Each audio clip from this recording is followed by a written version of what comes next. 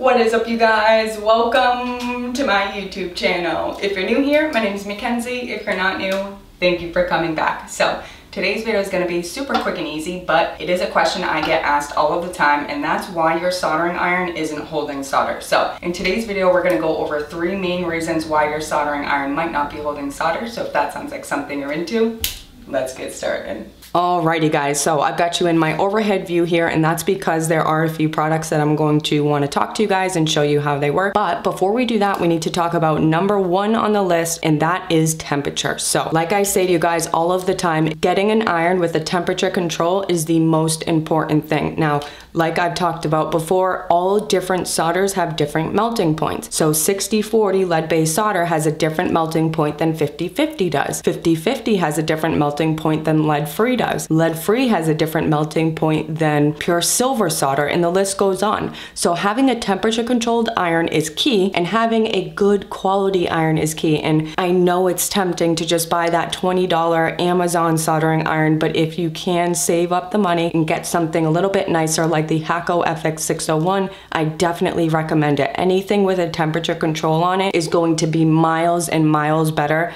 than just a basic soldering iron that you have no idea what it's heating to. So that's the first thing we're addressing. I think people get a little bit confused on the difference between soldering iron not sticking to your solder and it just purely not melting the solder in the first place. So making sure that your soldering iron gets hot enough to melt the solder is number one on the list. So now that we've talked about number one, let's talk about number two. And this is what I find to be the most common. Your iron isn't tinned properly. Now, what does that mean? Tinning the tip of your iron essentially means coating the tip of your iron in a light coat of metal. That's all tinning is. Tinning just means lightly coating something in metal. So if we're tinning the tip of our iron, we're lightly coating the tip of our iron in metal. The reason we do that is to preserve the tip life of our iron. If the tip of our iron is not tinned properly, every time we turn it on, the iron itself is going to be heating the tip of the iron instead of heating the metal we've tinned it with. Does that make sense? So when we tin the tip of our iron, we coat it in a light coat of metal. So when we turn the iron on, it is heating that light coat of metal instead of heating the tip of the iron itself. If you heat the tip of the iron itself and it's not tinned properly,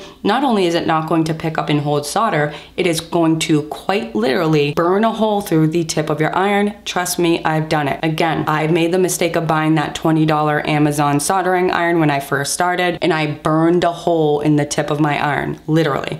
It was a hole through the tip of my iron because every time I turned it on, it wasn't tinned properly and it was heating the tip of the iron instead of heating the metal surrounding it, right? Does that make sense, you guys? So, tinning, again, all tinning means is lightly coating something in a small coat of metal. That's it. So, we've got to make sure that the iron tip is tinned properly. And to do that, we can use a product like this.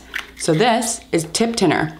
This is from the brand Thermaltronics. You can pick this right up on Amazon. I'll have all the products that I talk about in today's video listed down below. And this is what it looks like. So it's a very hard, almost sandy substance. So essentially what tip tinner is realistically is just a flux and solder mixed together and this is going to perfectly tin the tip of your iron. Every time you get a new iron you want to make sure that that tip is tinned properly. And really you can tell how it's tinned by just looking at the tip. Does it have that super metallic shiny look? Is it grabbing metal? No problem. Is it melting as soon as you put the solder on it, etc. So here's what tip tinner looks like and I'm going to show you guys exactly how it works in one second. So like I said, I've got my soldering iron on right here. I'm using the Hakko FX601. That is my all-time favorite soldering iron. And I've also got my Hakko FA400 smoke absorber right here. So as we're talking about these products, all of these are going to emit quite a bit of smoke. And just like with Flux, you do not want to be breathing this stuff in, guys. So whether you're wearing a respirator or have a smoke absorber, please make sure you're using it when you're using these kinds of products. So I'm gonna turn on my smoke absorber right here. Hopefully you guys will still be able to hear me all right and I'll show you how this tip tinner works. So again, this is in a metal case, so this is going to get pretty hot pretty quickly. So I'm gonna keep it down on the table like this. I'm gonna pull my soldering iron out of my stand, give it a quick clean on my damp sponge, or you can use your cleaner if that's what you use instead. And I'm going to stick the tip into the tip tinner and see how it melts right away. So we're just kind of gently rocking this tip back and forth, sufficiently coating it in this tip tinning product. If you kind of want to scrape it back and forth, you can absolutely do that. And we're just making sure we're getting this tip tinner all over the tip of our iron. Okay, see how beautifully bright, shiny, and metallic the tip of my iron looks now? It looks perfectly clean that is going to no doubt pick up a bead and hold it so, so well. So let's test it out.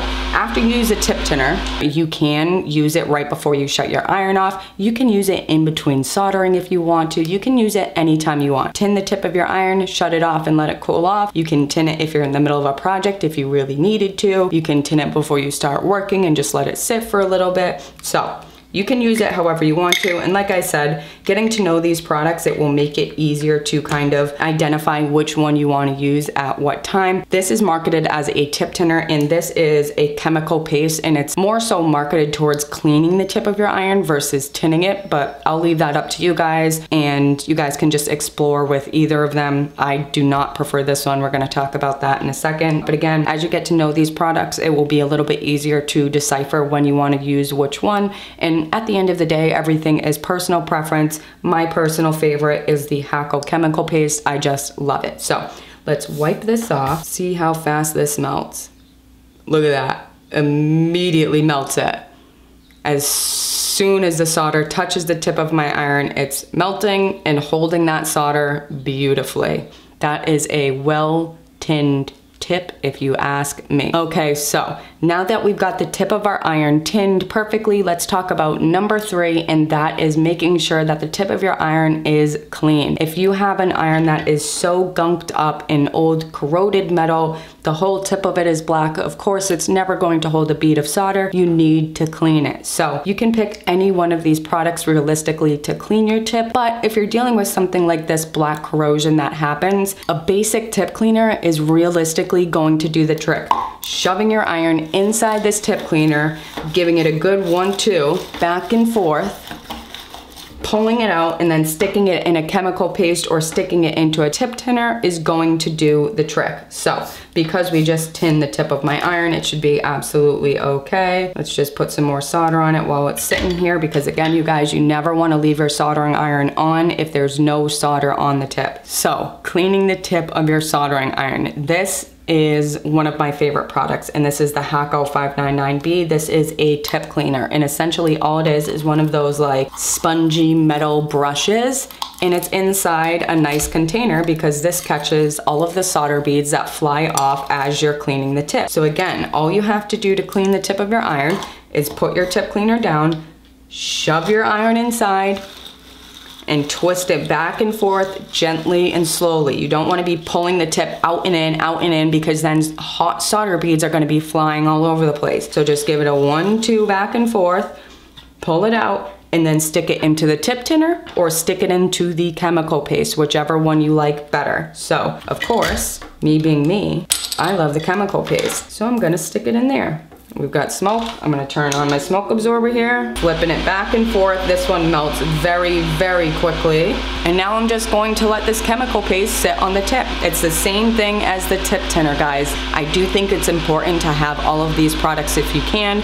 These are all very affordable products. I think it's important to have a tip cleaner, an actual physical tip cleaner, and I think it's important to have a tip tinner paste and a chemical paste. Okay guys, so we've talked about number one, making sure that you have an iron that actually gets hot enough to melt whatever specific solder you're working with. Number two, making sure the tip of your iron is properly tinned. And number three, making sure the tip of your iron is clean. So we talked about my favorite products let's talk about this one right here. This is my least favorite, but I do have it and I do feel like I should tell you guys about it because it is a favorite of a lot of people. This is a sal ammoniac block and this is what it looks like. It is a super hard block. I don't like it. It's never worked for me, but it might work for you. So at least just check it out give the reviews a read, read the description maybe, and see if that's something you're into. But essentially, this is doing the same thing that our other products, the tip, tip tinner and chemical paste is doing. So once again, guys, number one, making sure that your iron gets hot enough to melt the metal that you're working with specifically. Again, get your hands on a temperature controlled iron. My personal favorite, and always will be most likely, is the Hakko FX601. This is not sponsored, I just love Hakko. Love them. Hakko FX601, best iron. I've been using this one for years, love it. Get yourself a temperature controlled iron and pay attention to your melting points. So number two, making sure the tip of your iron is tinned properly. Again, tinning, all it means is lightly coating something in a coat of metal. That's it. That's all it means. So making sure your iron is tinned properly. Now, number three, making sure your iron is clean. As you use your iron, it is going to kind of build up gunk, corrosion. You need to clean it. So the most important thing is an actual physical tip cleaner. This is the Hakko 599B. You just stick it right in there, give it a couple twists, and that should do the trick as long as it's not extremely dirty and extremely corrosion built up. Look at that. Look at how that solder dried on there. Crazy. So as long as it's not crazy corroded, crazy dirty, just a couple twists back and forth, and this should do the job. Once you pull it out of your physical tip cleaner, then I'd say maybe go in with a tip tinner or go in with a chemical paste. My personal favorite is the chemical paste from Hakko. I kind of use it as a cure-all. When it comes down to it, this tip tinner is great. I absolutely recommend it. It's very, very accessible, being right on Amazon. And if the tip of your iron is already very clean, grabbing something like a tip tinner will definitely do the trick. It works beautifully. Alrighty guys, I think that's it for today's video. I hope you found it helpful.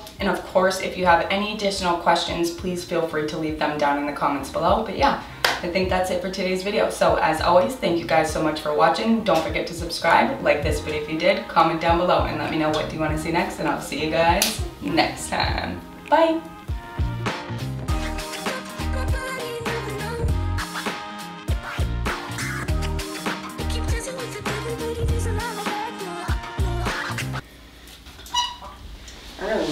For this thing. Having to get up and down so many times, it's rough.